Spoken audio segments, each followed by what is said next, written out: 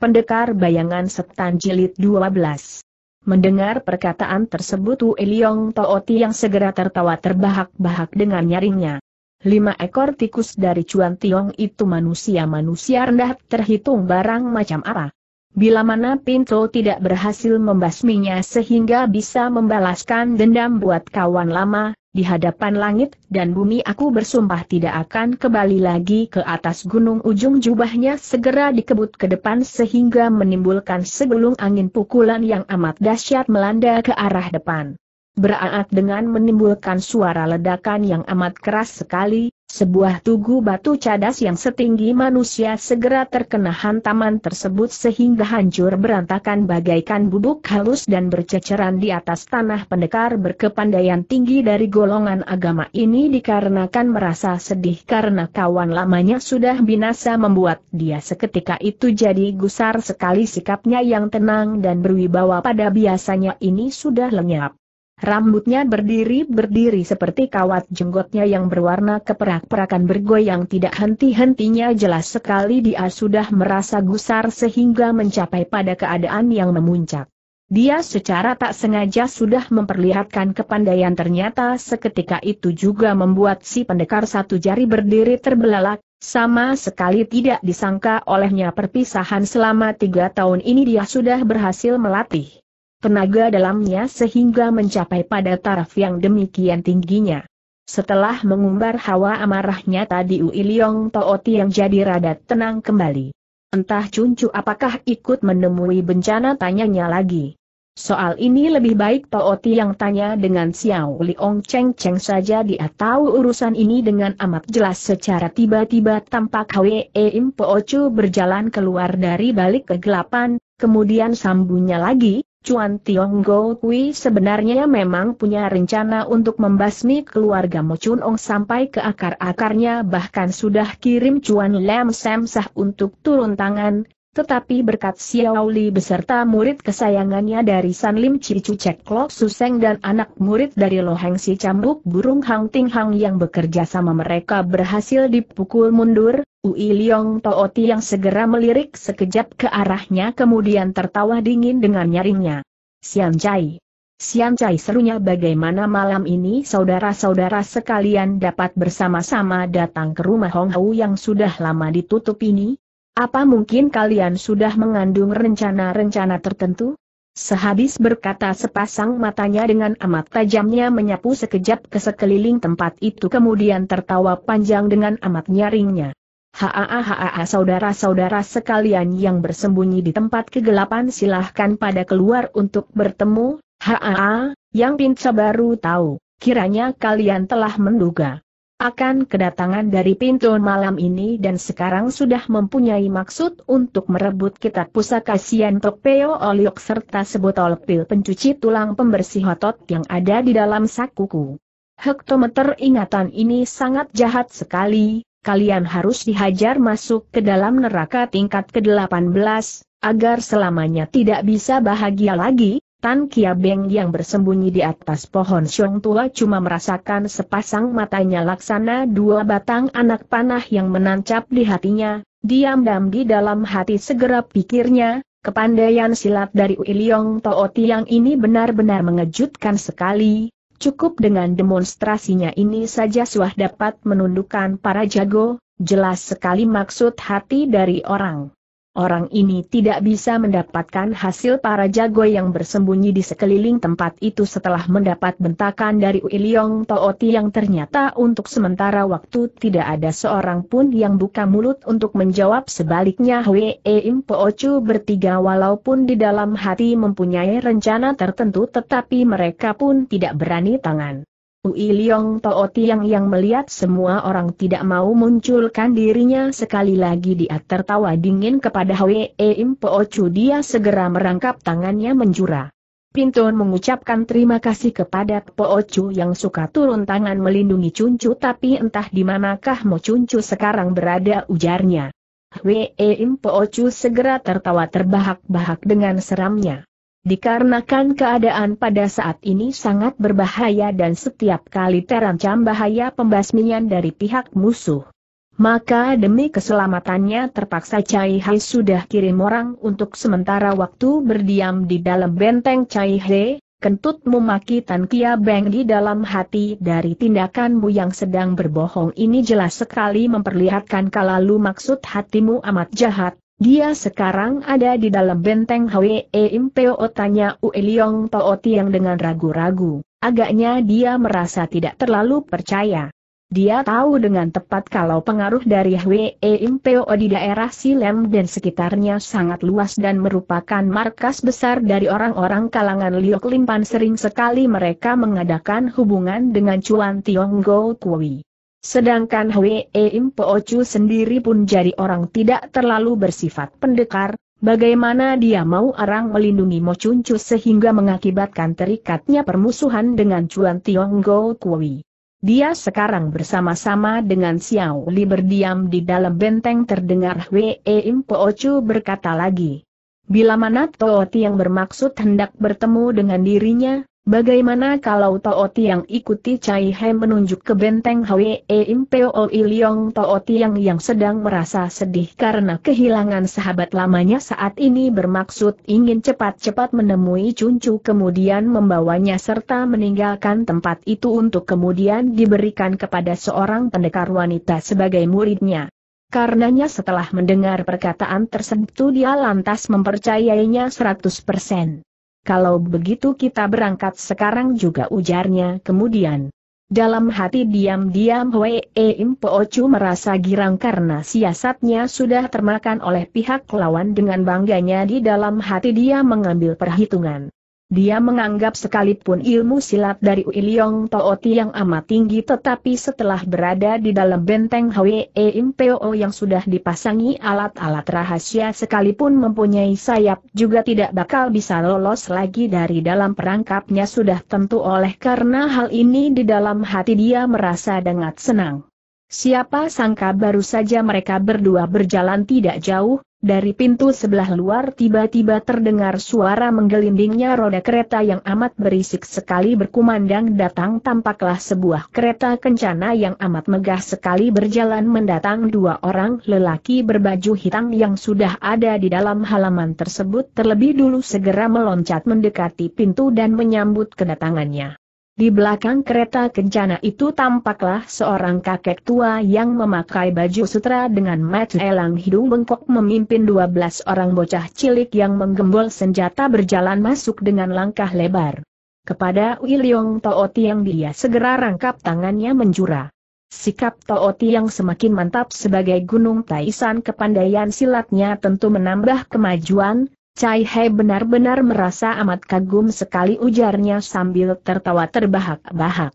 Tidak terasa Ui Liong Tooti yang jadi melengak tapi dia pun dengan cepat balas memberi hormat. Si Chu terlalu memuji sahutnya perlahan. Dia sama sekali tidak kenal dengan dia, siapakah orang ini tampak Kocian Jien Sam Lim Cicu serta Hwee Im Po Chu segera berebut maju ke depan untuk menjura. Chung Chu selamanya tidak mencampuri urusan dunia Kang Ong tidak disangka malam ini pun bisa muncul di sini. Kepada Wiliong Toh Tiang mereka segera memperkenalkannya. Toh Tiang, dia adalah Taigak Chung Chu yang namanya sudah menggetarkan seluruh dunia persilatan, orang lain menyebutnya sebagai Chun Hang Hua Yeu atau Siangin Semi melenyapkan hujan Bok Toa Chung Chu.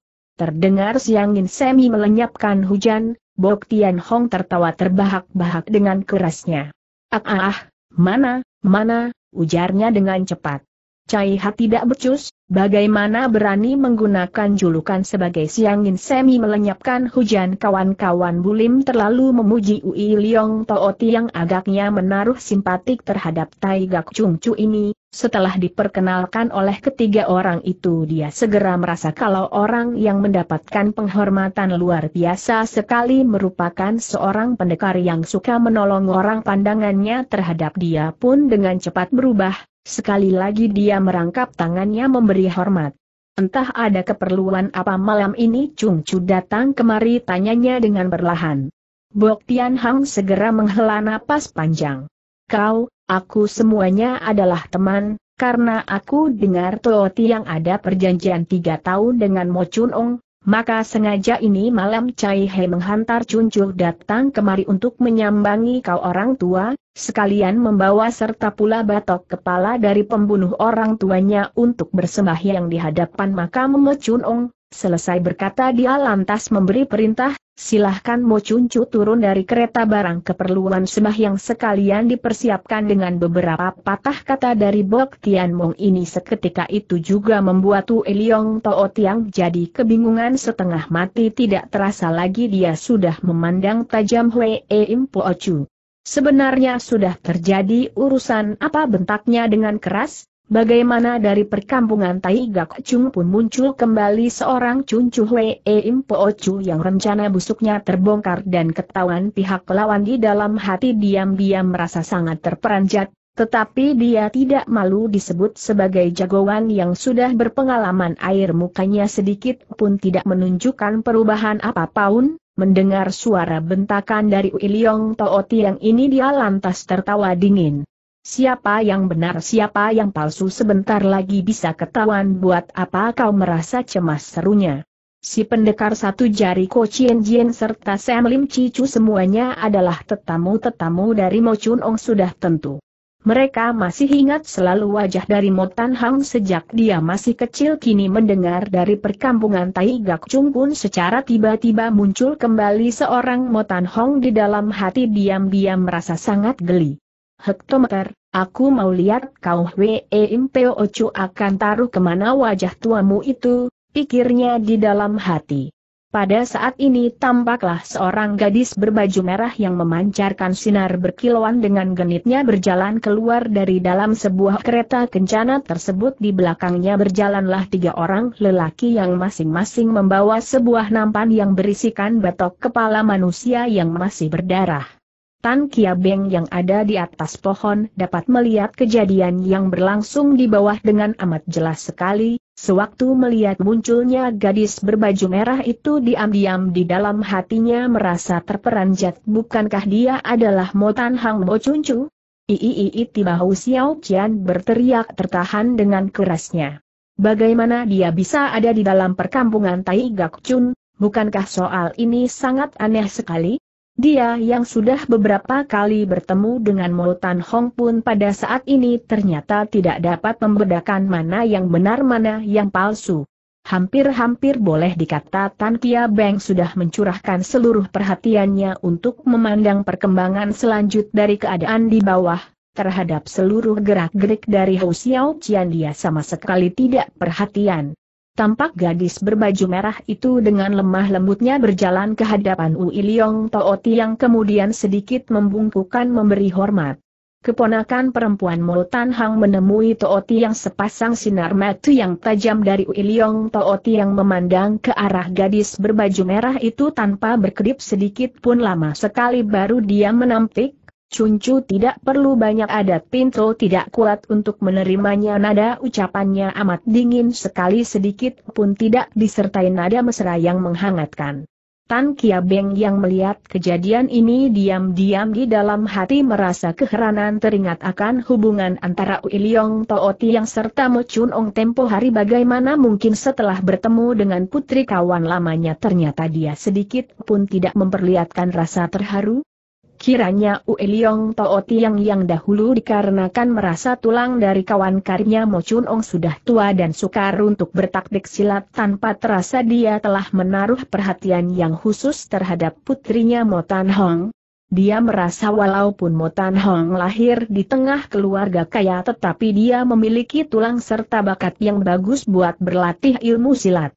Karenanya setelah membuang tempo tiga tahun dia berhasil membuat sebotol pil pencuci tulang pembersih otot siap-siap hendak diberikan kepadanya sehingga menciptakan dirinya sebagai sekuntum bunga yang menggetarkan seluruh bulim.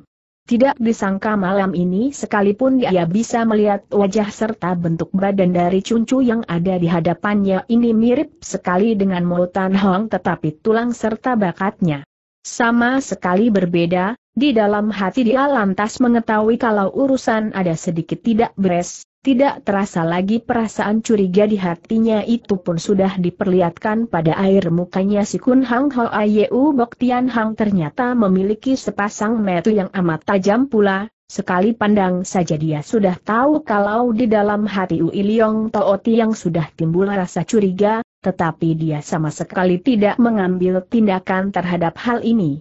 Siapkan meja sembahyang dan bawa kemari papan nama dari Mo Chun Ong perintahnya lebih lanjut. Si pendekar berbaju satu Hwe Im Poocu serta San Lim Cicu semuanya adalah jago-jago bulim yang sudah kawakan apalagi merupakan tamu tetap pula dari Mo Chun Ong serta Tai Gak Chung Chu tidak pernah mendengar kalau di antara Mo Chun Ong serta Tai Gak Chung Chu tidak pernah ada ikatan persahabatan.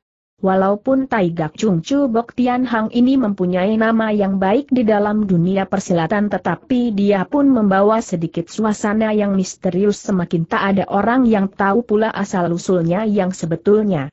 Karena itulah walaupun mereka bertiga tidak mengucapkan sepatah kata pun tetapi di dalam hati mereka menaruh rasa curiga yang amat sangat terutama sekali Hwe Im Po Chu sendiri. Sepasang matanya dengan amat tajamnya memperhatikan nona berbaju merah yang disebut sebagai cuncu tersebut. Cuncu tersebut waktu melihat banyak orang sedang memperhatikan dirinya tidak urung sikapnya rada rikuh juga, dengan perlahan-lahan menundukkan kepala rendah-rendah. Pada saat ini anak buah dari Taigak Chungcu sudah mulai mengatur meja sembahyang di tengah-tengah ruangan kemudian membawa pula sepasang lilin mengapit papan nama dari Mo Chun Ong suasana amat ribut sekali kelihatannya. Tiga butir batok kepala manusia yang masih meneteskan darah segar menggantikan sebagai sesajen di atas meja sembahyang, setelah semuanya beres tiba-tiba tampaklah seorang perempuan dengan dandanan pakaian keraton bagaikan kilat cepatnya melayang datang semuanya sudah siap harap Cuncu mulai memasang hio ujarnya terhadap Cuncu tersebut. Menurut keadaan yang seharusnya, pada saat ini di hadapan kawan-kawan lama serta sahabat-sahabat karipayahnya almarhum Mo Cuncu harus merasa amat sedih sekali. Tetapi air muka gadis itu sama sekali tidak kelihatan bersedih hati sebaliknya malah merasa amat takut terhadap si perempuan berpakaian keraton itu. Mendengar perkataan tersebut dengan gugupnya dia lantas menyahut, baik, baik, sekarang juga aku pergi melakukannya di tengah goyangan pinggul yang amat menggiurkan dia berjalan ke depan meja sembahyangan itu. Ui Liong Tao Tiang yang melihat kesemuanya ini, diam-diam mendengus dingin. Boheng tolong tanya ketiga butir batok kepala ini milik siapa tanyanya secara tiba-tiba. Bok Tian Hang melirik sekejap ke arah setelah itu wajahnya berubah amat keren sekali. Ketiga orang itulah Hun Lam Sam Sah yang merupakan bibit bencana pembunuh Mo Chuong sahutnya dengan suara yang amat keras. Dengan meminjam sinar lilin yang memancarkan Kia Beng pun bisa melihat kalau ketiga butir batok kepala manusia itu memang betul-betul adalah batok kepala dari Chuan Lem Sam Sah. Hal ini memaksa dia tidak punya alasan untuk menaruh curiga atas kepura-puraan dari Bok Tian Hang ini. Setelah memasang Hiomo Cuncu berdiri di samping dengan termangu-mangu dia sama sekali tidak menangis maupun bersembahyangan. Ui Liong Tooti yang dengan langkah yang lebar segera berjalan ke depan meja sembahyangan itu lalu jatuhkan diri berlutut dan menjalankan empat kali penghormatan besar. Chun Ong teriaknya dengan suara yang amat sedih kedatanganku kali ini hendak memenuhi janji dengan Hian Ong, tidak disangka perjanjian tiga tahun di antara kita selamanya tak berakal terjadi lagi, Sukma Hian Ong tidak jauh dari sini. Pinca bersumpah pasti akan menyuruh Cuncu turun tangan melaksanakan pembalasan dendam ini sendiri sehingga Hian Ong bisa beristirahat dengan tenang di dalam tanah. Ui Liong Tooti yang ini termasuk orang yang bersifat terbuka, suara tangisannya yang amat menyayatkan hati itu seketika itu juga membuat para jago lainnya ikut merasa kecut hati. Sebaliknya Mo Cuncu dengan termangu-mangu berdiri di sisi meja sembahyangan, dia menundukkan kepalanya tidak mengucapkan sepatah kata pun. Menurut adat yang berlaku, maka Mo Chuncu pada saat ini adalah putrinya yang lagi berkabung, seharusnya dia berlutut di depan meja sembahyangan untuk membalas hormat. Tetapi dia tidak berbuat demikian. Peristiwa ini seketika juga mendatangkan rasa curiga yang lebih tebal baginya.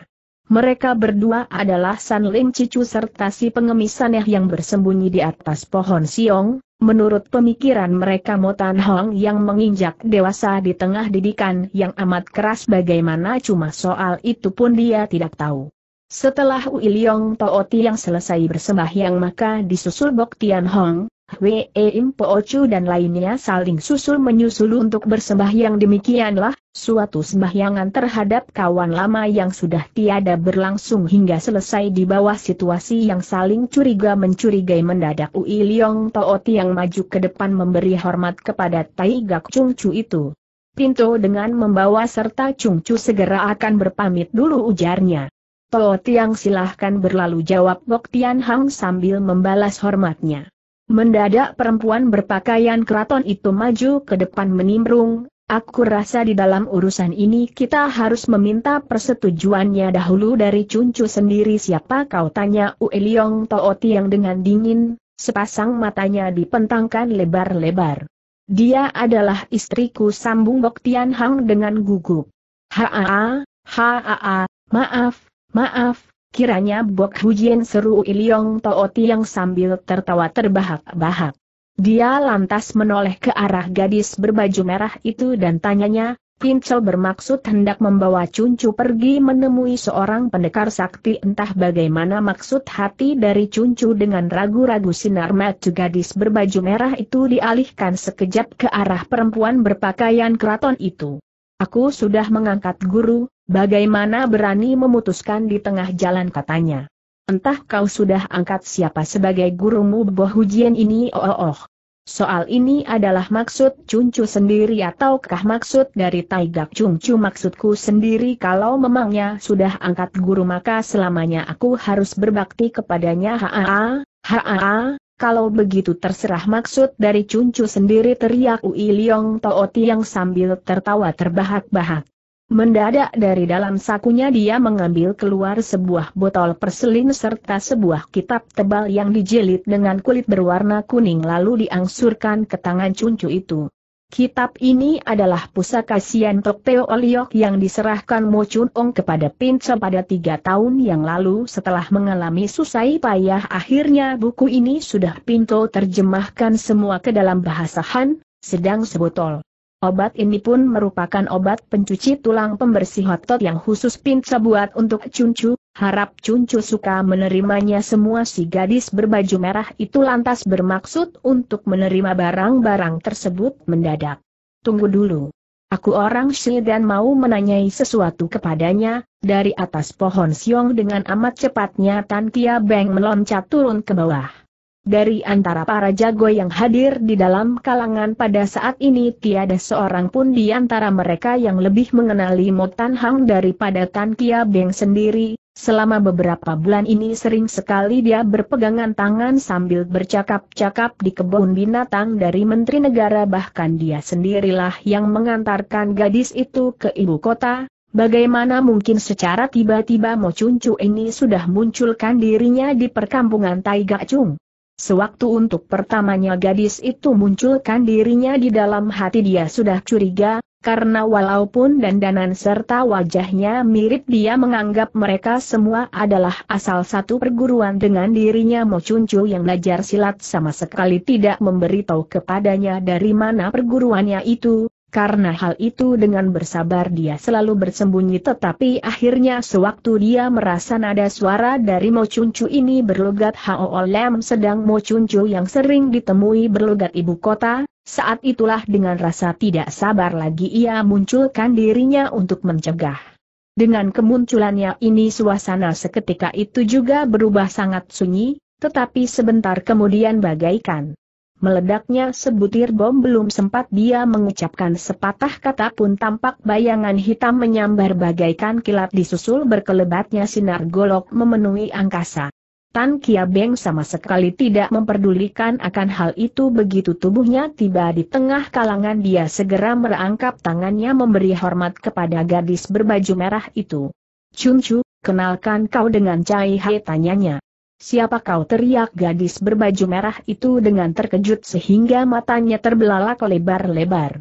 Haa, haa, Bila mana sampai aku pun kau tidak kenal, maka cuncu ini pasti adalah cuncu yang palsu serutan Kia Beng sembari tertawa bergelak.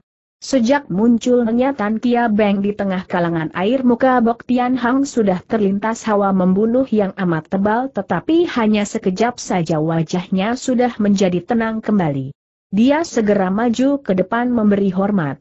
Cai He mengucapkan banyak terima kasih kepada Xiao Hiap atas bantuan yang diberikan sewaktu tempo hari Cuan Lam Sam Sah yang datang mengacau istana, saat itu ada kemungkinan hatinya lagi merasa kaget sehingga sekarang sudah terlalu ingat lagi dengan dirimu, dia lantas menoleh ke arah gadis berbaju merah itu dan sambungnya, malam itu orang yang melawan Toatah dari Cuan Lam Sah adalah Tantai Hiap ini, dia adalah anak murid dari Bani Im Yen Lo Tai Hiap, Cuncu apakah kau sudah lupa? Dengan gugupnya si gadis berbaju merah itu segera maju ke depan memberi hormat. Ah ah ah, kiranya Tan Xiao Moai sudah melupakan dirimu katanya perlahan. Dengan dinginnya Tan Kia Beng melirik sekejap ke arahnya setelah itu kepada Ui Liong Tooti yang ujarnya sambil menjura. Di bawah perlindungan Cai He Mo pada saat ini sudah ada di rumah pamannya di ibu kota. Pamannya itu adalah seorang menteri negara Ong Sian Seng. Harap Tooti yang jangan sampai ditipu mentah-mentah oleh orang lain terhadap dirinya. Ui Leong Tooti yang segera memperhatikan dengan amat teliti, setelah itu dia tertawa dingin tak ada henti-hentinya, Terhadap perkataannya itu Toosu ini tidak mengatakan kepercayaannya juga tidak menanyakan lebih lanjut. Kepalanya didongakkan ke atas dan berpikir dengan keras. Hwee Im Poochu yang selama ini berdiri di damping walau sudah lewat beberapa waktu lamanya masih belum juga mendapatkan satu akal untuk mencegah Ui Liong Toot yang menyerahkan kitab pusaka tersebut kepada cuncu palsu itu. Walaupun dia mengetahui kalau urusan ini sangat mencurigakan tetapi Tai Gak Chuncu yang nama besarnya sudah terkenal di seluruh bulim dan jadi orang adil dan pernah membuat dia tidak berani turun tangan mengganggu pekerjaannya. Saat itu melihat Tan Kia Beng munculkan diri untuk memecahkan rahasia tersebut di dalam hati diam-diam merasa girang. Haa, pengacau ini paling sukar untuk dicegah, biarlah aku pancing mereka sehingga saling bergebrak dengan seru berpikir sampai di sini dengan wajah yang memperlihatkan rasa gusar dia lantas membentak, nama besar dari Boh Cuncu sudah terkenal di seluruh bulim bagaimana mungkin dia berani melakukan pekerjaan yang sangat memalukan ini? Terang-terangan kau anak iblis yang berniat untuk mendapatkan kitab pusaka Sian Tok Teo Oliok itu, sekarang kau sengaja mendatangkan kekacauan saja di sini baru saja dia selesai berkata mendadak terasa ada segulung angin keras yang menyambar datang, di pengemisannya sambil tertawa terbahak-bahak sudah melayang turun di tengah kalangan. Kalau memangnya Cuncu yang ini sungguh-sungguh maka Cuncu yang ada di dalam benteng Hwe Impeo tentunya palsu bukan ejeknya. Mendengar perkataan tersebut, air muka Hwe Impo Chu segera berubah memerah. Siapa yang benar siapa yang palsu apa sangkut pautnya dengan dirimu teriaknya sambil tertawa dingin. Aku si pengemis tua yang hidup di dalam bulim merasa sangat mual sekali melihat manusia-manusia yang rakus seperti kalian bukan barang miliknya juga diperebutkan.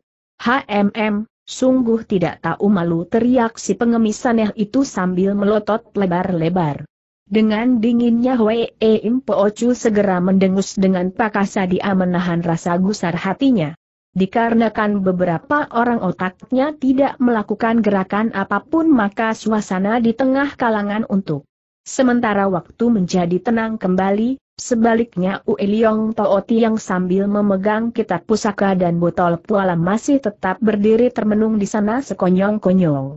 Di tengah suara bentakan yang amat nyaring perempuan berpakaian keraton itu bagaikan serentetan sinar keemas-emasan dengan cepatnya berkelebat dari hadapan Tan Kia Beng menubruk ke arah punggung dari Ui Liong Tootiang, Disusul satu jeritan ngeri segera berkumandang datang memecahkan kesunyian di malam yang tenang itu beraa seorang jagoan dari kalangan Hek Tu yang secara diam-diam hendak membokong Ui Liong Tao Tiang dari belakang sudah terkena hajaran dari perempuan berpakaian keraton, itu sehingga seketika itu juga menemui ajalnya.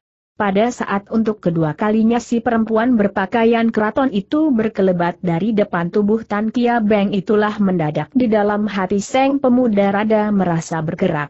Ii bukankah gerakan tubuh yang ia gunakan adalah ilmu meringankan tubuh dari aliran Teh Leng Bun, pikirnya.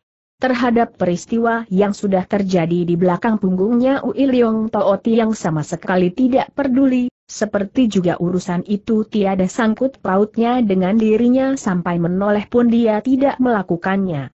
Terhadap cuncu yang ada di hadapannya mendadak dia merangkap tangannya memberi hormat. Xiao Sicu ini bilang kau adalah palsu pintu rasa perkataannya ini tidak dapat dipercaya sepenuhnya tetapi ada. Beberapa urusan Pintu harap Chun Chu suka menjawabnya dengan benar katanya dengan angker. Po Tiang silahkan berbicara asal Bo Ampoe mengetahui tentu Bo Ampoe akan menjawab dengan sebenarnya tahukah kau dari mana asalnya kitab pusaka Sian Tok Pit Leong ini? Ayahku mendapatkannya sewaktu menumpas pemberontakan di daerah suku Liao. Semuanya ada berapa macam sejilid kitab pusaka, setumpukan bahan obat-obatan dan sebilah pedang pualam. Apakah nama pedang pualam itu dan sekarang berada di mana? Pedang pualam itu bernama Kiam Cheng Giok Hun. Kiam saat ini sudah diperoleh seorang anakan iblis dari aliran Teh Lengkau. Kau jangan sembarangan bicara siapa yang jadi anakan iblis. Timbrung Tan Kia Beng tiba-tiba.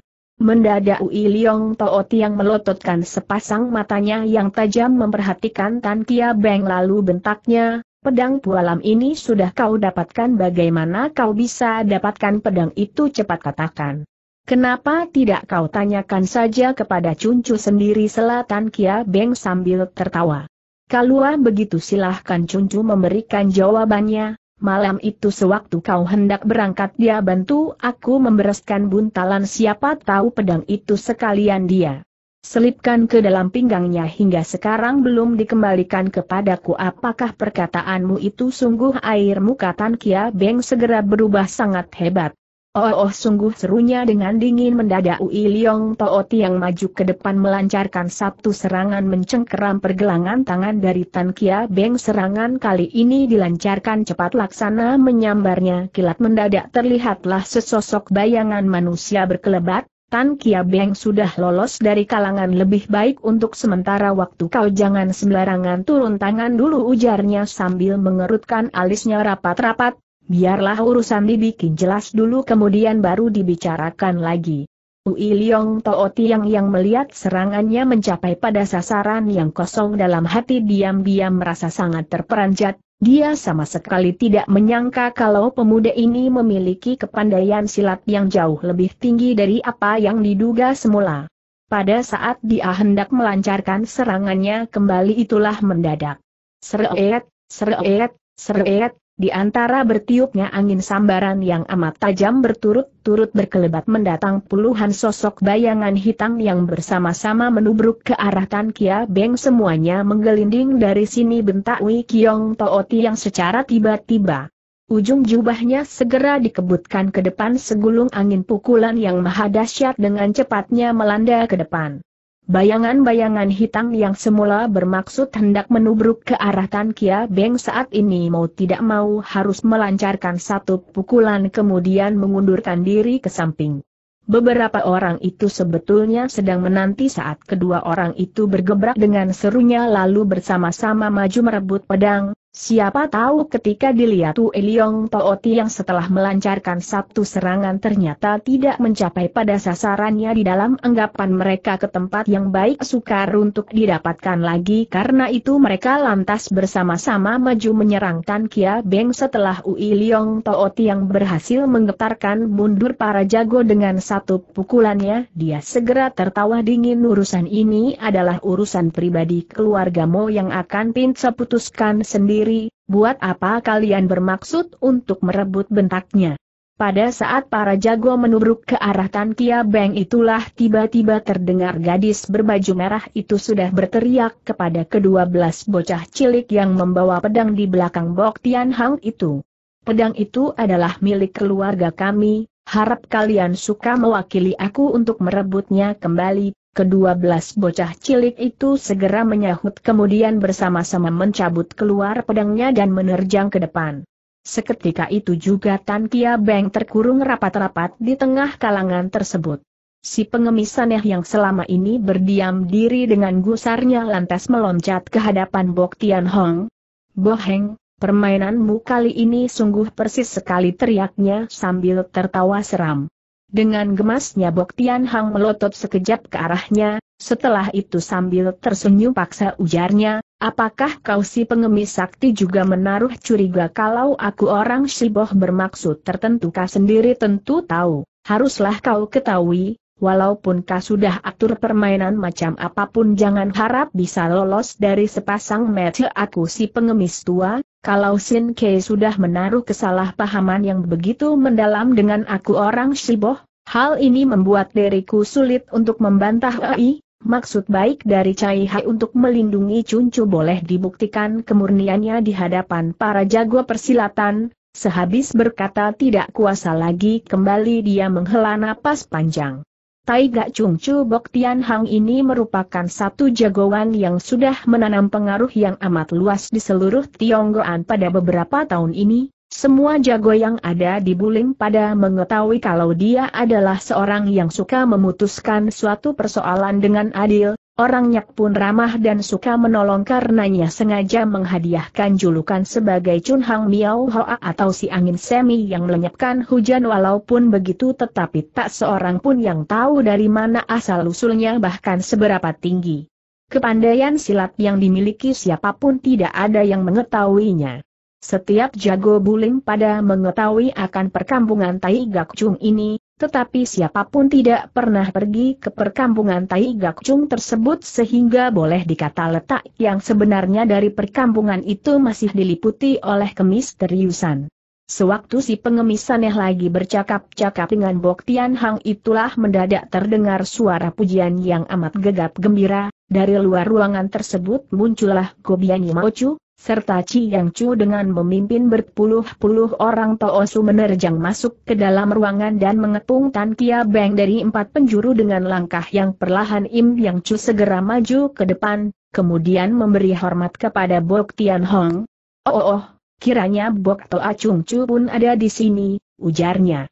Ah, ah, ah sungguh bagus sekali, sungguh bagus sekali untuk sementara waktu silahkan anak muridmu beristirahat dahulu, biarlah Pinto sekalian membereskan sedikit utang lama dengan bajangan kecil ini, Bok Tian Hang dengan gugup segera balas menghormat.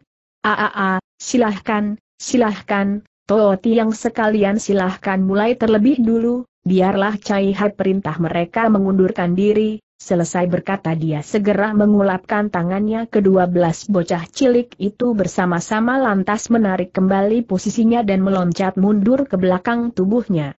Tan Kia Beng yang melihat kemunculan dirinya segera memancing perhatian dari semua orang tidak terasa dalam hati merasa amat gelusar sekali dalam hati dia lantas mengambil satu keputusan. Ha-a-a, ha-a-ha-a, teriaknya sambil tertawa tergelak. Sejak aku orang Sitan munculkan dirinya di dalam dunia Kangou selamanya belum pernah mencari gara-gara dengan orang lain sebaliknya para jago dari semua partai memandang demikian rendah dan bencinya terhadap Cai He hal ini membuat Cai He benar-benar merasa amat tercengang. Tetapi menurut penglihatan dari Cai He, He, He, He, He, kalian meminjam kata-kata hendak membalas dendam sebagai alasan untuk menutupi kenyataan yang sebenarnya bermaksud hendak merebut pedangku, ha ha ha, ha Pedang pualam ini adalah hadiah dari Mo Chuncu kepadaku bila mana kalian ingin merebutnya? Hal itu boleh dikata sama dengan impian di siang hari bolong cai ha. Cuma takut setelah bergebrak tangan kaki tidak bermata dan menyalahi saudara. Waktu itu kalian akan memaki. Aku tidak mengerti sopan santun, omong kosong. Bentak Im Yang Chu dengan gusar, Siapa yang bilang kami bermaksud hendak merebut pedang pualam itu kalian guru bermurid memiliki sifat kejam dan membunuh orang sebagai kegemaran. Bila mana bajingan-bajingan iblis semacam ini tidak cepat-cepat dibasmi bagaimana kami harus bertanggung jawab dengan para jago di manakah keadilan yang harus ditegakkan selesai berkata dengan gusarnya dia mencabut keluar pedang panjangnya disusul kawan-kawan serta anak muridnya bersama-sama menggerakkan senjata dan bergerak maju ke depan.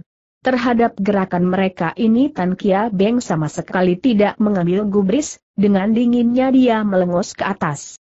Si pengemis aneh yang melihat orang God BJP secara mendadak bermaksud hendak turun tangan menyeroyok dengan terburu-buru dia lantas menerjang dengan suara yang keras, peristiwa benar atau palsunya mau cuncu belum diselesaikan, buat apa kalian hidung-hidung kerbau mencari gara-gara di tempat ini, HMM, urusan lalu masih bisa diruntingkan tetapi di dalam urusan ini lebih baik Sin Ke jangan ikut campur teriak Im Yang Chu dengan gusarnya, nyawa berpuluh-puluh orang dari tujuh partai besar apakah harus dibikin beres dengan demikian saja? Apakah kalian sudah memastikan pembunuh berdarah yang terjadi di perkampungan Cui Cusian adalah perbuatannya? Soal ini buat apa dibicarakan lagi HMM, tidak disangka orang. Orang dari tujuh partai besar ternyata pada goblok semua, dikibuli orang lain juga tidak tahu. HMM, sekalipun peristiwa berdarah yang terjadi di perkampungan Cui Cusian itu bukan hasil perbuatannya, Pinto tidak akan melepaskan dirinya dengan begitu saja, mendengar perkataan tersebut si pengemis aneh tertawa tergelak. Nama besar dari Go Bieng Go Chu sudah menggetarkan seluruh dunia Kang ini hari aku si pengemis tua mau.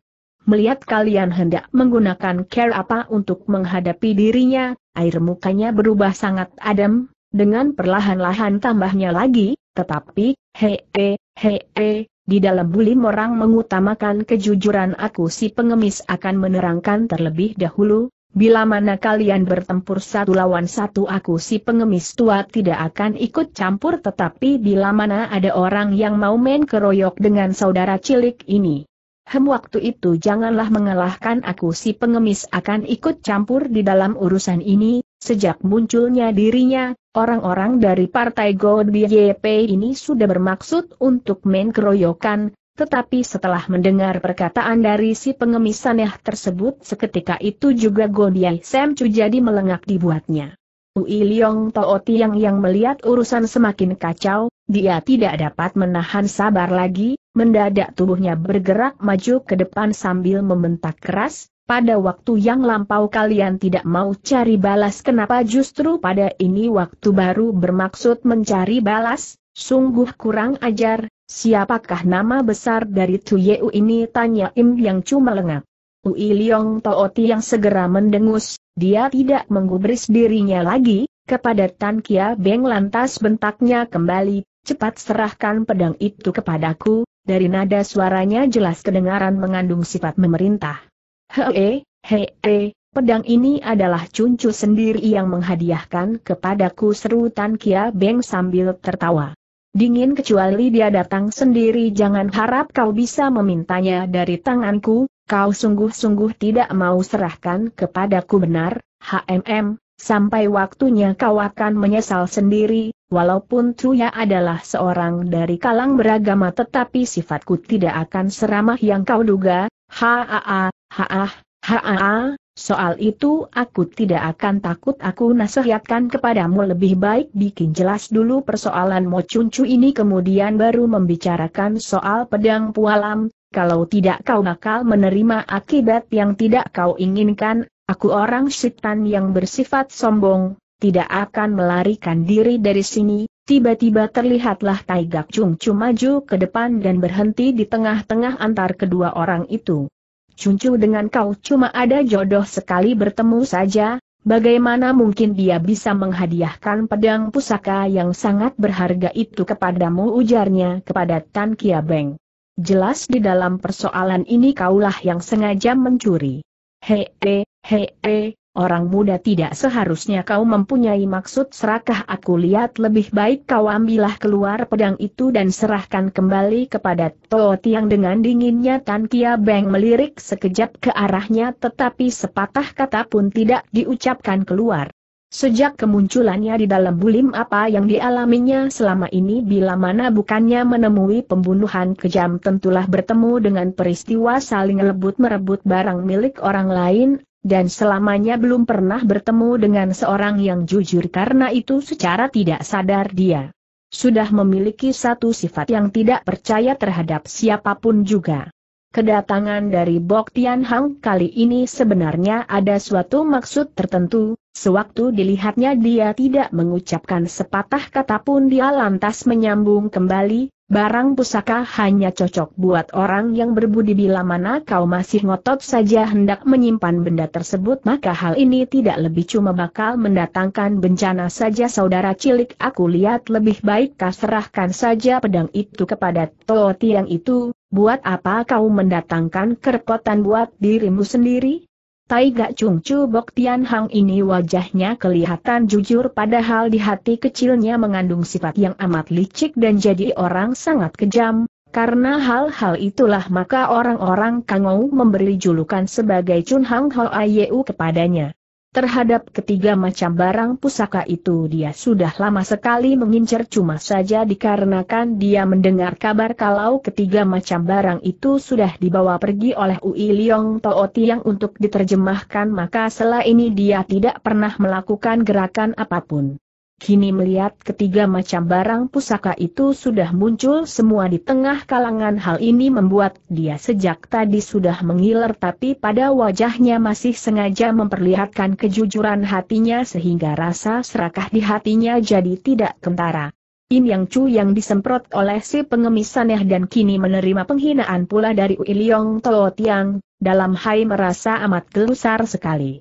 Pada saat ini mana dia bisa bersabat lagi, mendadak tubuhnya maju dua langkah ke depan lalu membentak keras, dengan bajangan-bajingan ganas semacam ini buat apa Chung Chu banyak berbicara, biarlah pintu sekalian cepat-cepat beresin nyawanya.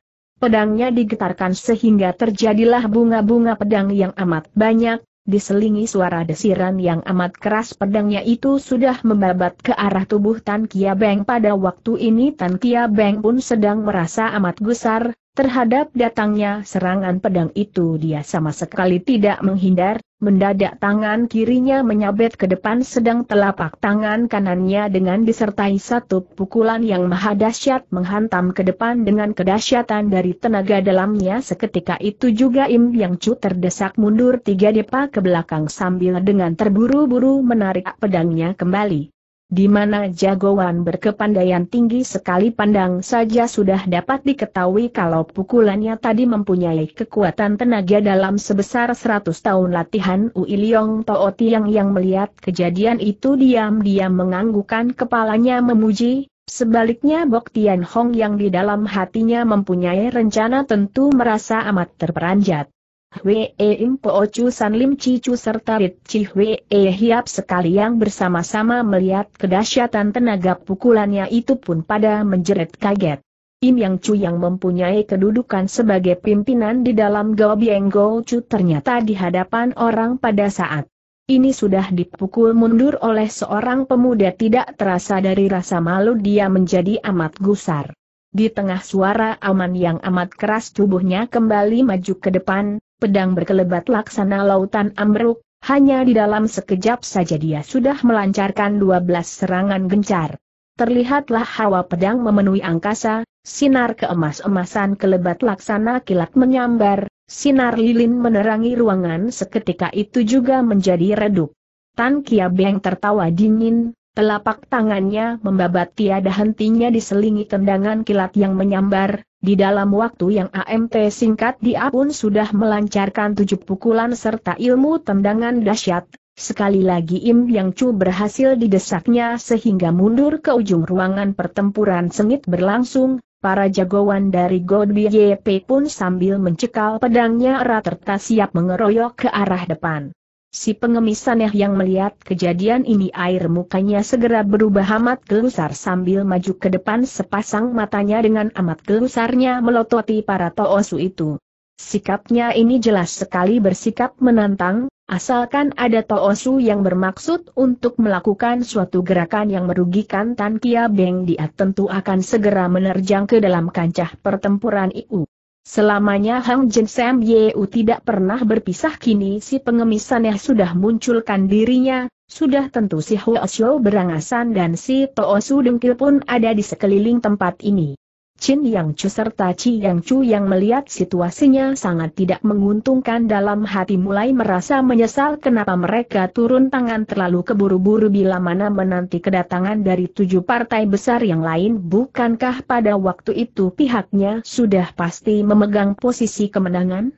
Waktu ini keduanya sudah terlambat sekalipun mereka harus membuat dosa dengan Hang Jin Sam. Yeu hasil yang didapatkan pun tidak akan seberapa banyak, karenanya sambil mencekal pedang tanpa menggubris perkataan dari si pengemisannya lagi mereka bersama-sama mendekati kalangan pertempuran.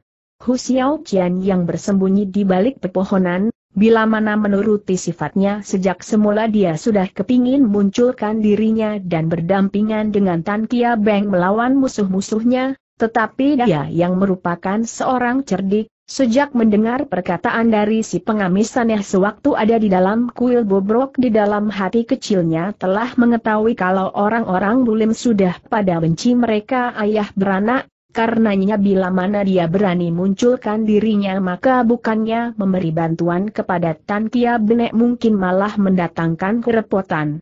Bersamaan itu pula dia merasa kedatangan dari cuncu palsu ini sangat mendadak, Terang-terangan dia pernah beberapa kali main petak dengan cuncu yang asli. Bagaimana di tempat ini pun bisa muncul kembali seorang cuncu karenanya dalam hati dia lantas mengerti kalau di dalam persoalan ini pasti ada hal-hal yang tak beres. Di samping itu dia pun menemukan kalau wajah Taigak cuncu, suami istri itu walaupun amat jujur tetapi hatinya amat licik sekali, oleh sebab itu dia lantas mengambil keputusan untuk melihat perubahan yang terjadi itu dengan hati terang, kalau Tan Kia Beng tidak menemui bahaya dan tidak akan munculkan dirinya. Tan Kia Beng sendiri pun tidak ingin bergebrak dengan Im Yang Chu, dia kepingin cepat-cepat menyelidiki persoalan cuncu palsu ini, karena itu setelah menerjang Im Yang Chu sehingga mundur berulang kali mendadak tubuhnya berkelebat menubruk ke arah si gadis berbaju merah tersebut.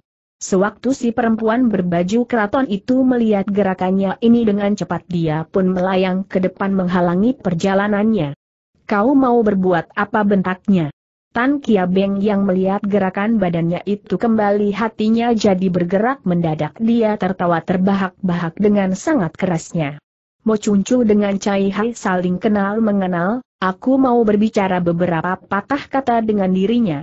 Air muka perempuan berbaju keraton itu segera berubah sangat adem. Mo adalah putri raja muda yang hidup di tengah didikan kesopanan, bagaimana mungkin dia bisa berkenalan dengan kawanakan iblis bentaknya dengan dingin. Soal ini tentu kalian tidak pernah menyangka bukan teriak Tan Kia Beng sambil tertawa keras kembali. Bila mana sejak dulu kalian mengetahui akan hal ini maka cerita bohong ini pasti akan mencapai tujuan dengan lancar. Mendengar perkataan tersebut, air muka si perempuan berbaju keraton itu segera berubah sangat hebat, nafsu membunuh mulai meliputi seluruh wajahnya. Taiga Chungcu yang melihat sikapnya ini karena dia takut urusan jadi kacau dengan gugup lantas maju ke depan Xiao Hiap lebih baik jangan sembarangan memfitnah orang, aku orang sibok selamanya melakukan pekerjaan dengan terus terang dan diketahui pula oleh orang-orang bulim, bagaimana mungkin aku orang sibok bisa melakukan pekerjaan yang sangat memalukan ini katanya. Si pengemisannya yang ada di sampingnya segera tertawa terbahak-bahak. Ha, ha a a, ha a a, tahu orangnya tahu mukanya belum tentu tahu hatinya. Sekarang dunia sudah berubah jika dipandang dari luar kelihatannya seperti orang baik tetapi di dalam dadanya sudah penuh dengan siasat-siasat yang licik, ha a a, ha. Bok Toa Chung Chu, bukankah perkataanku ini sedikit pun tidak salah pada wajah Bok Tian Hang? Segera terlintaslah satu senyuman yang amat menyeramkan kemudian mengangguk. Perkataan dari Sin Kei sedikit pun tak salah jawabnya.